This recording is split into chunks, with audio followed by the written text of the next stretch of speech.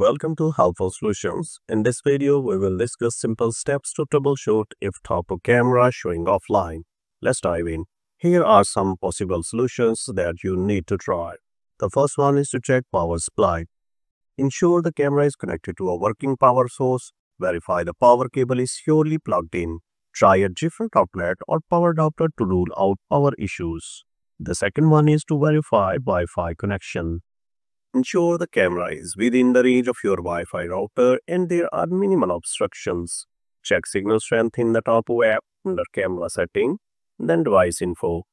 Reboot your router to retrace the connection. The next is to restart the camera.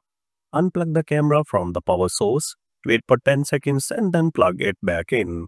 This resolves temporary glitches affecting connectivity. The next is to update firmware and app. To do so, in the app, go to Camera Setting, then Device Info, Firmware Update and install any update.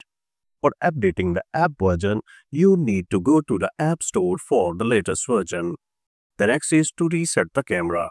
Press and hold the reset button on your camera for at least 5 seconds until the LED light blinks red. Reconfigure the camera in Tapo app after resetting. The next is to check for interference. Ensure there are no physical obstruction or electronic device like microwave or phone causing the interference between the camera and the router. Move the camera closer to the router during setup. The next is to verify router settings. Ensure the Wi-Fi network name and password have not changed. Check if MAC filtering is enabled on the router.